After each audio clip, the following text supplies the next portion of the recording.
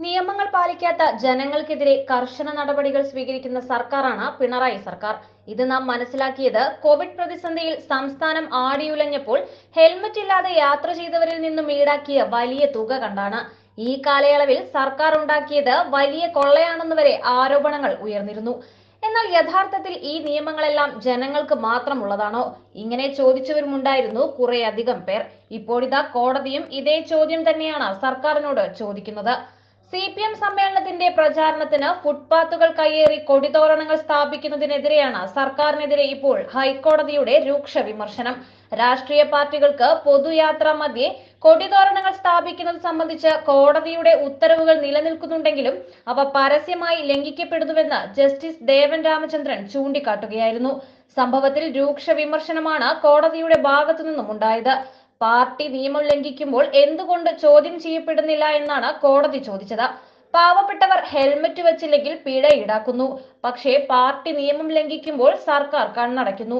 ഇതാണോ കേരളം അഭിമാനിക്കുന്ന നിയമവ്യവസ്ഥിതിയെന്നും കോടതി ചോദിക്കുകയായിരുന്നു. ഫുട്പാത്തുകളിലും പാതയോരങ്ങളിലും അപകടകരമായി കൊടികൾ സ്ഥാപിച്ചിരിക്കുന്നുവെന്ന് കോടതി വിലയിരുത്തി. ഒരു അപകടമുണ്ടായി ജീവൻ നഷ്ടമാകണോ ഉത്തരവുകൾ നടപ്പാക്കാനെന്നും കോടതി ചോദിച്ചു. കൊച്ചി നഗരത്തിൽ നിറഞ്ഞിരിക്കുന്ന കൊടിതോരണങ്ങളുടെ കാര്യത്തിൽ സർക്കാർ നിലപാട് എന്താണെന്നും കോടതി ചോദിച്ചു. എന്നാൽ കൊടിതോരണങ്ങൾ സ്ഥാപിക്കാൻ സി പി എമ്മിന് അനുമതി നൽകിയിട്ടുണ്ടെന്ന് കൊച്ചി കോർപ്പറേഷൻ വ്യക്തമാക്കി. അഞ്ചാം തീയതിക്ക് ശേഷം എല്ലാ കൊടിതോരണങ്ങളും നീക്കം ചെയ്യുമെന്നും കോർപ്പറേഷൻ അറിയിച്ചു.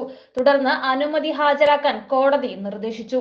മാത്രമല്ല ചട്ടവിരുദ്ധമായി കൊടിതോരണങ്ങളും ഇൻസ്റ്റലേഷനുകളും സ്ഥാപിക്കാൻ അനുമതി നൽകിയതിൽ കടുത്ത അതൃപ്തി കോടതി പ്രകടിപ്പിക്കുകയും ചെയ്തു. ജനങ്ങളുടെ ജീവൻ അപകടത്തിലാക്കിയല്ല രാഷ്ട്രീയ പാർട്ടികളുടെ സമ്മേളനം നടത്തേണ്ടത്. സമ്മേളന ശേഷം കൊടിത്തോരണങ്ങൾ നീക്കം ചെയ്തതിന്റെ പുരോഗതി അറിയിക്കാനും ഹൈക്കോടതി നിർദ്ദേശിച്ചു. എന്നാൽ സർക്കാരിന്റെ നിരുത്തരവാദപരമായ ഇത്തരം പ്രവർത്തികൾ ഇതാദ്യമായല്ലോ കോവിഡ് പ്രതിസന്ധി രൂക്ഷമായ സാഹചര്യത്തിലും സി ജില്ലാ സമ്മേളനങ്ങൾ ആഘോഷമാക്കി നടത്തുകയും സമ്മേളനത്തിന്റെ ഭാഗമായി അഞ്ഞൂറിൽ പരം ആളുകളെ അണിനിരത്തി കാരണഭൂതൻ പിണറായി വിജയൻ എന്നുറക്കെ പാടിയവരാണ് സി പി എം സർക്കാരിന്റെ അനുമതിയോടുകൂടി ഇത്തരം കലാപരിപാടികൾ അരങ്ങേറിയതും പിന്നീട് കോവിഡ് കേസുകൾ കുതിച്ചുയർന്നതും നാം കണ്ടതാണ്. തുടർന്നുള്ള ഫ്ലൈ ഓവർ ഉദ്ഘാടന ഘോഷയാത്രയും ഇപ്പോൾ നടക്കുന്ന സംസ്ഥാന സമ്മേളനവും ഇനി എന്തു തന്നെ നടപ്പിലാക്കിയാലും അതിൽ സർക്കാരിന്റെ പൂർണ പിന്തുണയുണ്ടെന്ന കാര്യത്തിൽ സംശയമില്ല. സർക്കാർ വരുമ്പോൾ നിയമങ്ങൾ മാറി നിൽക്കുമെന്ന് പറയേണ്ട അവസ്ഥയാണിപ്പോൾ. നിയമങ്ങൾ പാലിക്കപ്പെടാനുള്ളതാണ്. അത് ജനങ്ങളിലായാലും സർക്കാരായാലും ഒരുപോലെ തന്നെയാണ്. കോടതിയുടെ വിമർശനമുള്ള സാഹചര്യത്തിലെങ്കിലും ഇത് തിരിച്ചറിഞ്ഞാൽ നന്ന്. News desk news day Malayalam.